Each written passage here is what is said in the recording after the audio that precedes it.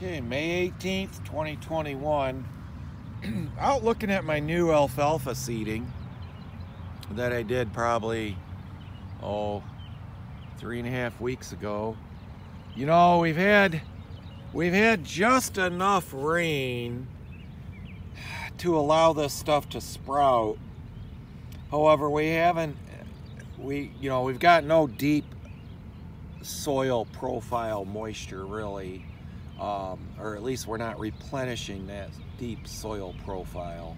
We're, we're having, um, you know, these tiny little rains, a tenth of an inch here and there about once a week is all. And it was enough to get this stuff to germinate. Um, but, you know, we didn't have the type of rain to get good, equal, uniform germination. You know, that's what happens when you just get a little spit here and there. You know, like we got, here's an alfalfa sprout that probably just came up in the last few days. You know, here's an alfalfa getting ready to show a couple trifoliate leaves It's probably three weeks old. So you're not getting that, that, that uniform germination. Here is an orchard grass um, tiller from the previous year because I didn't burn this field down. I chisel plowed it and disked it heavy. So I did not do a, a burn down on this. So it was kind of a uh, second thought. Um, I wasn't too concerned about orchard grass coming back up in here. You can tell the new grass coming up. And it's, it's probably the ryegrass I put in here as a cover crop. And probably not as much of the orchard grass, hard to tell. Um, so you know, when we got sparse germination like this because of low moisture conditions, I think that this cover crop of ryegrass is going to be important to me. And, you know, it's coming up. I'm not overly impressed. I'm happy it is at least here. But now we're going into a whole week of weather and we're going to have days in the 80 degree mark and no rain. You know so you're like well are these seedlings going to survive? How long you know they they basically have no root structure yet not much. So they're just the only thing that's kept them alive is these little spits of rain that we're getting uh, once in a while. There hasn't really been a heavy dew so you can't say they're really getting any water from dew at all and, um, and you know, here again, differential germination, new seeding.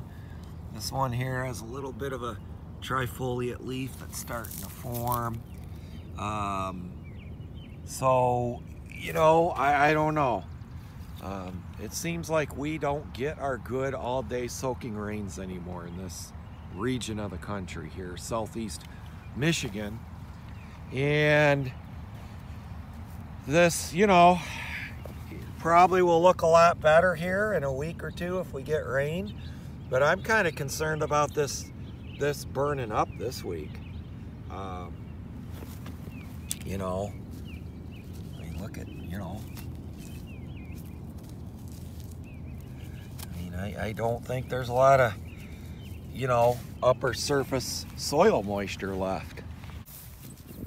Now here's the alfalfa and, um, you know, one of the points, you know, listening to Humble Haymakers, you know, JHJ Farm there, his live stream this weekend, he was talking about, you know, the nitrogen you got to put back in the ground.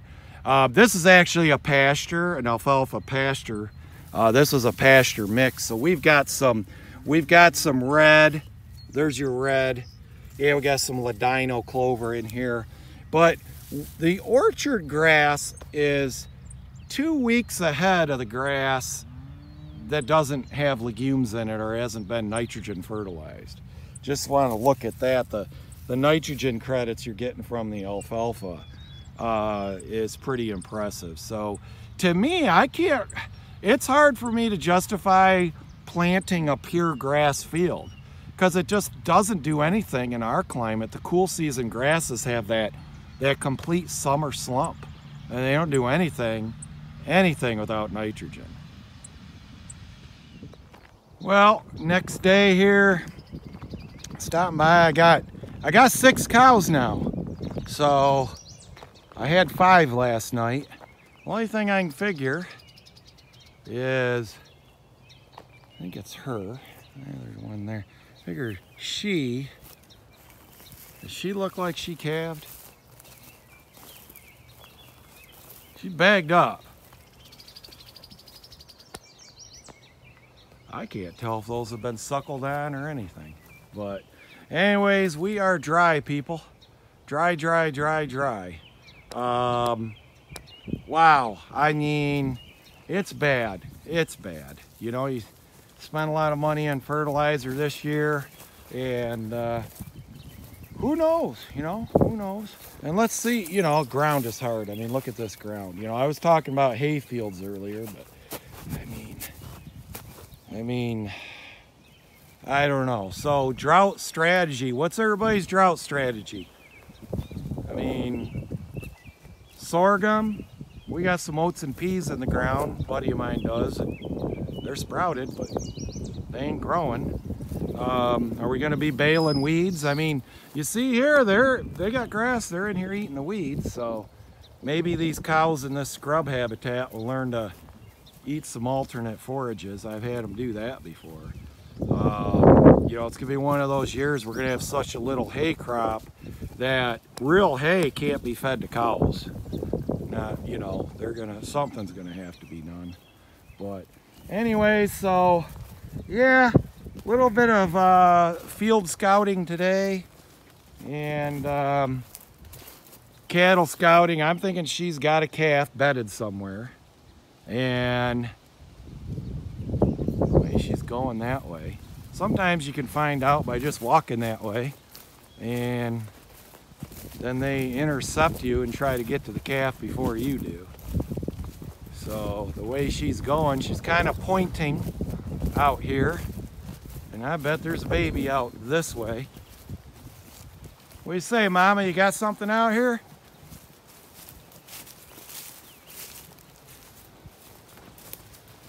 I don't know. Sometimes it really ain't worth the hassle going and trying to find them. I've I've jumped up the calves before and spooked the calves and had them run the other direction. And yeah, so she's got one over there. Look at her go. She's making a beeline Oh yeah, look at that. She's like, no, I got a calf. Yeah, I don't want you near it.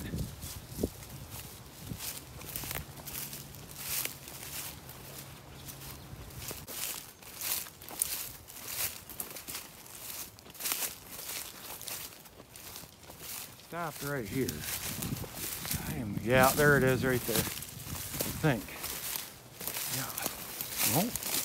That wasn't a calf. I thought I saw a little black blip in there. I don't know.